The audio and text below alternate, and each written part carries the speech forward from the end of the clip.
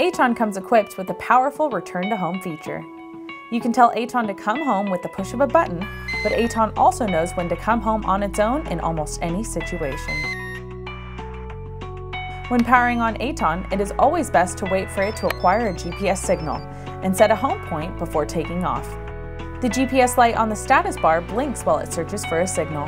When position is established, the GPS light glows solid. The home status LED then glows solid indicating that the current position has been set as the return to home location. Now you're ready to take off. At any time during flight, you can initiate return to home by pressing the button on the transmitter. This function works in any flight mode.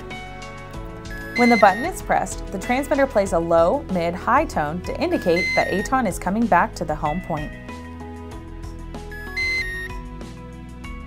Aton is also equipped with a fail-safe system to automatically initiate return to home in certain situations. In these cases, the transmitter will emit a sequence of beeps to let you know what is happening. If there is loss of radio signal or interference, the transmitter will emit the same low, mid, high sound, followed by a single beep and repeat the sequence, indicating that Aton is on its way back to the home point. If you hear the low, mid, high sequence followed by two beeps, it means that Aton is returning home because of a geofence breach. This means Aton was flown outside of the GPS-controlled boundary, which is 500 feet by default. The geofence can be adjusted using the Flight Link app.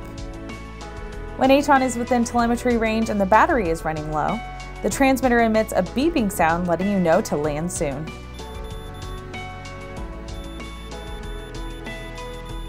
After about 30 seconds, Aton will emit a return to home sound followed by three beeps.